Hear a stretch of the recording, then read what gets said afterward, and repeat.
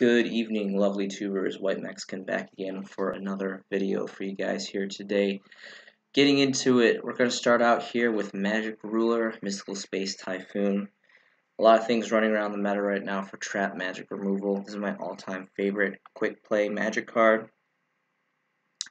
And it's been going up a little bit in value right now. Unlimited Lightly Play is about $4. And plenty of onesies going around here.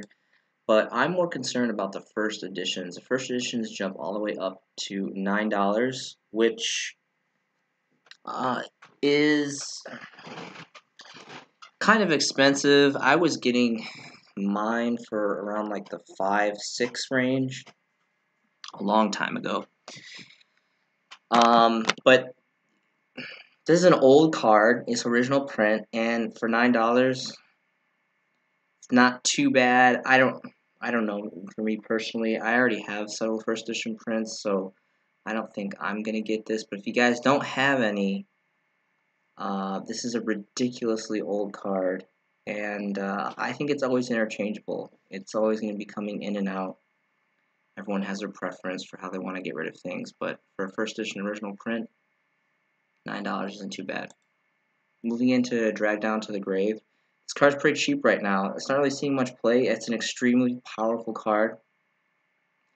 Sometimes comes in and out of the meta and swapped throughout decks. Um, it's like $2 right now. $2 for a first edition super rare. This is the highest rarity from one of the infamous Legendary Collection 3, Yugi World. Yugi's World. I'm a very big Advent fan of this set. And um, yeah, it's like two dollars. One here for two dollars, one here for a dollar fifty, one here for a dollar fifty. So if you can add those onto your shopping carts, why not? This is a really powerful card. I think for two dollars for a first edition highest rarity it's pretty good. Moving into highest rarity into the void ultimate rare. This is bumped down. You know, with the reprint, it kind of went down a little bit, sitting around ten dollars for the first edition lightly played ultimate rares. Um, I don't think that's that's that bad for that. You know, three dollars three dollars for a playset of this ultimate rare. Uh, this is a really good card. Again, this is one of those cards that comes in and out for draw power throughout the meta, depending on what decks are popular. I think it's really interchangeable. Excuse me, and uh, it's just an all-around card. So for ten dollars, ultimate rare, it's uh, not too shabby if you have goat tokens uh, common, they're worth they're worth a decent amount of money. Um, this one here, the orange is about eight, blue is seven, um, and this yellow one is five. So that purple is around three, or red, reddish purple. Anyway, just kind of wanted to go over that. If you have these, I'm not even sure which set these are from, but if you have common tokens, they're worth a couple dollars. Forbidden cards. I love these cards. Chalice is always kind of ridiculously expensive for the ultimate. I mean, it's an ultimate. It looks super awesome. Uh, a little too expensive for me to pick up. Maybe when it goes down to around 10. First editions, I'd buy those. But there's some alternatives. But I want to focus primarily on the Lance. I love this card. I'm a huge anti-meta Advent player. And I like swapping this card out, ins and out, for defending some of my stuff Let's take a look at the first editions. First editions is around three dollars. Um,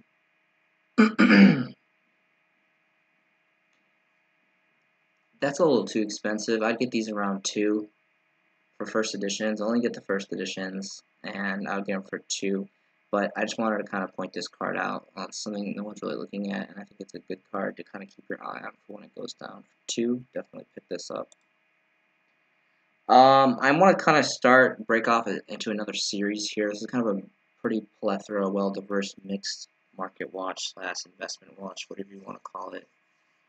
Um, I want to go over a few cards that I think have really killer artwork, really, really awesome artwork that I think maybe potentially collectors are starting to buy out some older cards, some not so older cards. But these cards are just, I think they have fantastic artwork, and I think as time goes on, if they get harder to get, as people start to buy them out or whatever have you, um, these cards are going to be worth a good amount of money. And we can already kind of start to see that with Ultimate Rare, Absolute Power Forces, Ultimate Rare Black, Witch of the Black Rose. Is the Ultimate Rare version, of course. The highest rarity. And uh, the unlimiteds are running about five dollars, but when you get to first edition, it jumps up to almost around eight, around eight dollars. So there's only two pages left. Um, I'll switch over to the Ultra really quick so you can see the artwork a little bit better. Really, really killer artwork, and of course, it being an old school Ultimate Rare, it's hard to get. And uh, depending on what deck you're playing, it, it's kind of kind of a, a kind of a decent effect in a way. But it's just another spellcaster girl with some killer artwork, and it's an old school Ultimate Rare. So collectors maybe I I know I've started collecting this, and uh, the collector's market may shift towards this card to add it in. So that's something to consider. Uh, I really would only go for the ultimate rares. The ultra rares are not worth much of anything. Um, even the unlimited, as you can see, they're a couple dollars. So um, I would get on this before it gets too late, or at least get a playset just to have. Excuse me. Um, going off that topic, Gagaga Girl. Uh, this card has been slowly going up a little bit. I think collector's market is kind of shifting over and kind of capturing this card. Uh, there's quite a few listings, but not, you know, you have to go all the way to the second page for first edition. And it's sitting around 350. This They have two of them, so it's not too bad. Under the $5 mark, this is a, a god-awful card. It's, it's never really going to see play. I don't think it ever did. This whole archetype. Uh, was awful. It was never really popular. But just the sheer fact that she kind of looks like Dark Magician Girl, and she's a solo print secret. Well, not a solo print. It came first. Super rare as well.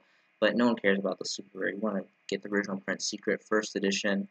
Um, this is just another card that I think for artwork collector's value, I think it's going to shift over. They're going to start capturing this card. So right now, uh, the cheapest first editions are two of them here for 350 So something to consider. I know I'm definitely looking to invest in this card for artwork collector's value as well. This is kind of something off the spur. This is just me personally. This isn't more of like a mass population uh, collector's market. But for Tardy Orc, I personally love the artwork in this card. This isn't a very good card at all. It's kind of just a random card that, you know, maybe used in like old school beater decks or whatever have you. But I just love the artwork. There's only a few prints of this, a lot of different commons and stuff. But of course, the secret rare, the original one from an old school set like Galactic Overlord. Um, and it's really cheap right now. It's under a dollar for the first edition prints, and there's quite a few of them actually. Um, five pages plus, and pretty much all of them are under a dollar for first editions, near mints. So I this isn't like a really playable card, but again, I just think the artwork is fantastic and it's an old school secret. And I mean, I, I'm collecting them personally just because they're cheap and there's not a lot of them. And I think they have cool, uh, cool artwork. So, it's kind of my personal collection of artwork for that card. Moving on, Injection Fairy Lily the secret rare from the original print Legacy of Darkness everyone kind of has known this card has been going up. Um, excuse me. More so for the first edition, of course, like everything else in the Yu-Gi-Oh world. First editions are sitting at almost $23. This card has well, definitely went up. Um, so I was getting mine around 10s and 11s about, I don't want to say, maybe two years ago that was kind of the price, like 10 $9, 11 even to a couple months ago, I actually bought a few off here for about around $10 range. Uh, for Lightly Played First Edition, and yeah, it's $23 right now, so this has always been a collector's card for artwork value, and as time goes on, Legacy of Darkness is one of the original core sets from first generation, and is just probably one of the top artwork cards, female artwork cards in the whole TCG, honestly it is just I you know I think it's safe to say that it's right up up there with uh, Dark Magician Girl. Really really popular card, really hard to get first edition for the most part and expensive. So, but it's a collector's value card, so that's why it's on this uh, this that's why it's in this video. So something to consider. Another one, this is kind of out there. I'm to kind of go into my own realm here. This is like the White Mexicans realm.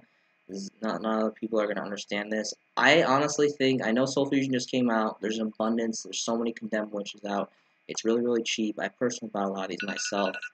Um, but this is a playable card. Not only is this a playable card, this is a really good playable card. You know, it doesn't really have a place in the meta yet. Um, but its its effect is fantastic. It digs through your deck and special summons. Um, there's a lot of fairy variants out there. And it's always been a popular archetype. Fairy decks have always kind of come in and out of the meta. But this, not only that, not only that's like a playable card and has potential for future play, potentially even in meta play, it has fantastic artwork. Right now it just came out, so it's a solo print secret rare. Um, but I think as we get further and further away, I'm talking about like years, like years from now, when Souls Fusion is like impossible to get almost. I think this card's going to go up, and I've continuously bought several of these because it's like $2 right now, and it, it's been, it was even cheaper. I was getting it for like a dollar a couple months ago. So it's slowly starting to go up. Not anywhere soon because there's so many, because it's such a new set. But this card has fantastic artwork. It's a female card. It's a really just badass, dark looking card. You know, a lot of the female cards are really cutesy and glittery and shiny, and this is definitely glittery and shiny but it's just badass and dark and looks really really sinister and her eyes are all like glowing red and it's it's really good. I mean, this is definitely high on my list for collector's value artwork cards. I think this is a really good deal, and if I was you, I would definitely be stocking up on this card. Moving on, Tour Guide, of course, one of the infamous uh, cards here with the artwork. There's so many prints here and potentially, you know, maybe if it comes off the ban list, maybe if Burning Abyss get more of their stuff unlocked, you'll see more meta play, whatever have you. It's always been a popular card, relatively expensive. It has a lot of prints, so prices really, really range. A lot of people like the Duelist Saga. Um, and then there's the super rares from the collector tins, and like all these are like nothing. The only ones are really worth money, essentially, is the ultimates, of course, and the secrets. But uh, for collector's value, obviously, yes, you're going to want the ultimates or the secrets, but they're a lot of money. So I think the super rare and the dual saga are pretty good alternatives. Um, just because, you know, if it gets unlocked on the ban list and just, it's an all around, just, it's a good card. Um, I've, you know, it's a really pop popular card. People love this card. But, you know, it's safe to say I would definitely, you know, go for the Duelist Saga because it looks really nice and it's really cheap, and then the super is really cheap too if you want to go like super super cheap. And again, I got a thing. I really do like super rares um, for certain things, so that's something to look at. But everyone knows. I mean, that's kind of a popular known fact that this is a, uh, a collector's card for artwork value as well. Something that's not really known, this is another kind of the white Mexican special. This is one thing specifically for me. You won't really find this anywhere else. Ghost Fairy Elfobia. This card is a solo print super rare from Lord of the Tachyon Galaxy. It is dirt cheap right now because it's not really playable. Uh, I don't think it ever really will be a playable card. It's kind of got a random effect.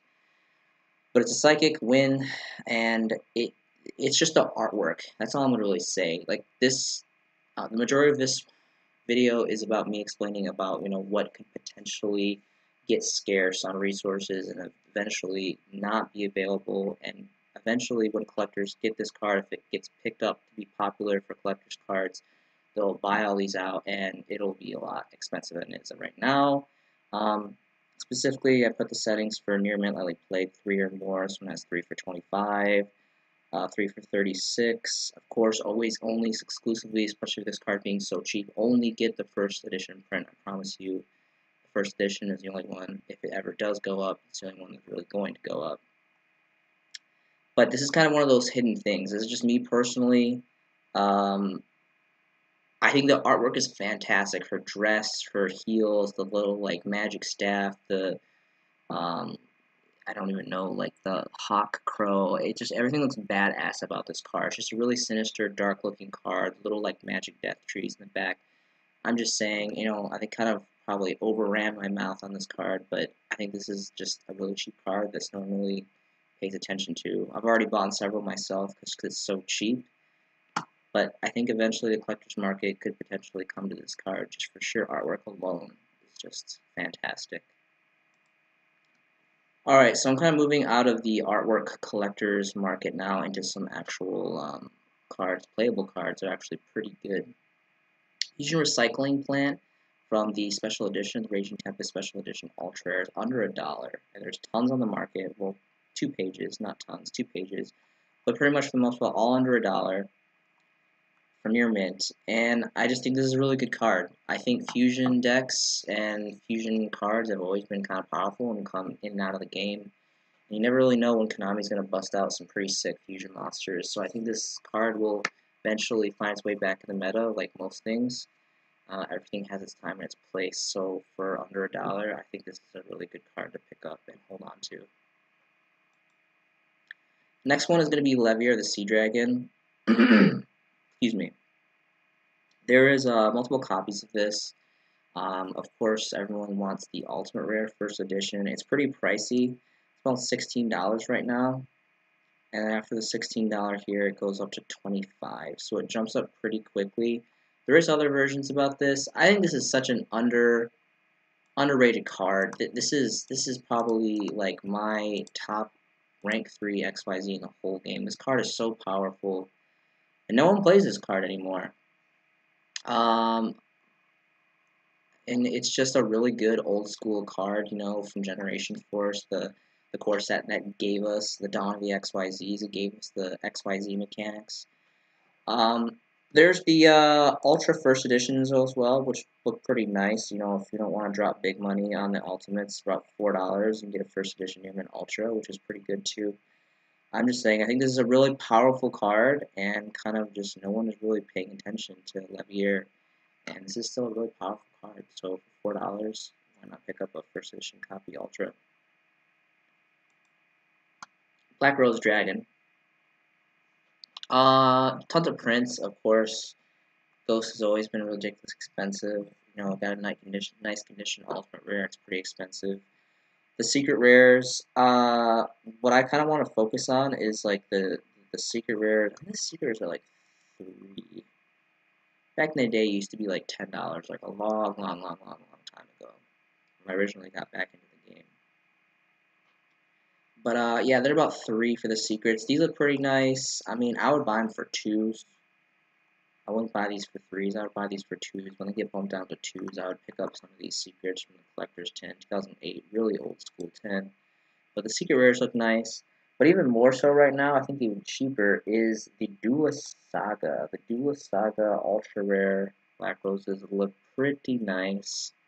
Again, Duelist Saga is kind of made and gone. There's not really, you can't really get it anymore. Um, and the foiling is really nice. And, you know, if you have any Duelist Saga cards, I would just hold on to all your Duelist Saga cards. There's only one set that had that foiling. And with this new set that's going to come out, Power Duelist or Duelist Power in April or whatever it's called, it's rumored to have the same foiling, which I hope it does. It'd be really cool to have, you know, another print run of this foiling because it looks so nice.